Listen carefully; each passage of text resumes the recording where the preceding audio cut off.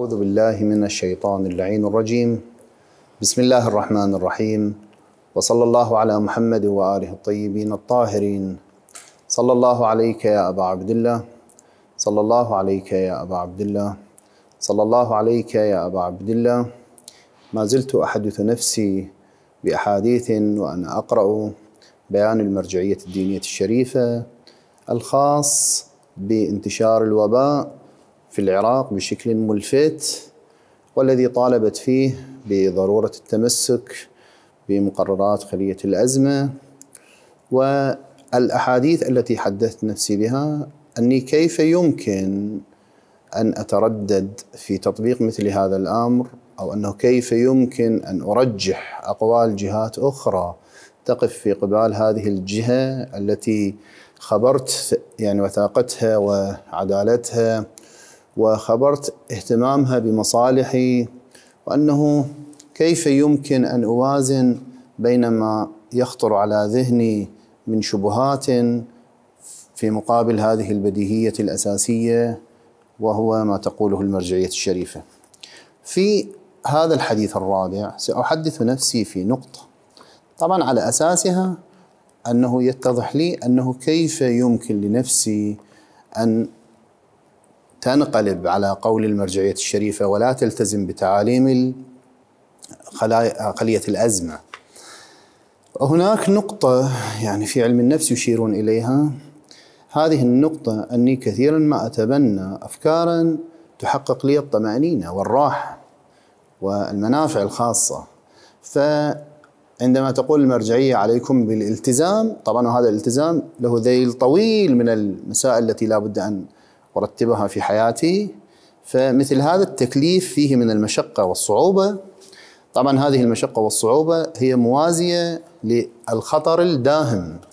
لكن الإنسان أحيانا لكي يتخلص من الالتزام بمثل هذه الأمور التي تطلب منه قد يتبنى. وإن كان يعني عقله الباطن يحاول أن يسوغ له كثير من الصور إلا أنه تبنيه لجملة من الآراء المخالفة للمشاهد وللمسموع وللتوجيهات التي تأتي من هذه الجهة العالية الشأن أنه لا يتصور أن يكون هناك مبرر إلا محاولة للهروب من تلك الالتزامات. يوم يوم تأتي يعني تأتي هذه الجهة وتضغط وتحاول أن تضيق الدنيا علينا نرفع يدنا عنها. ويوم تأتي وتيسر أمر الدنيا لنا نتقرب إليها. هذه النقطة بالذات التي أريد أن أحدث نفسي فيها اللي هو في الحديث الرابع. منطلق هذا الحديث سيكون عن عن مستند إلى الرواية الواردة عن الإمام الرضا عليه السلام.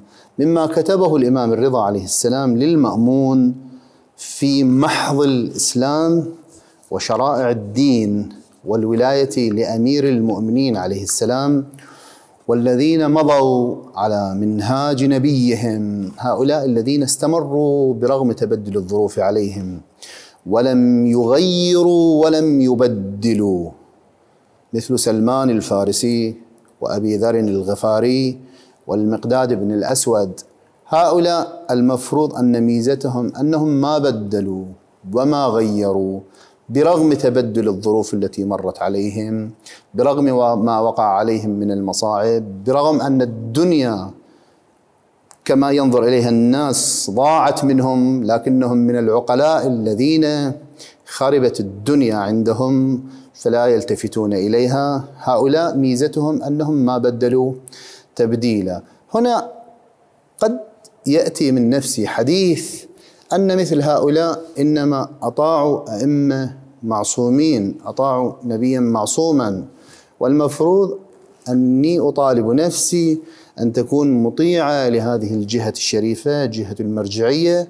والمفروض في النهاية أن المرجعية الشريفة مهما علت مهما على مقامها أنها في النهاية ليست بمعصومة. لكني أرجع إلى نفسي وأحدثها بهذا الحديث.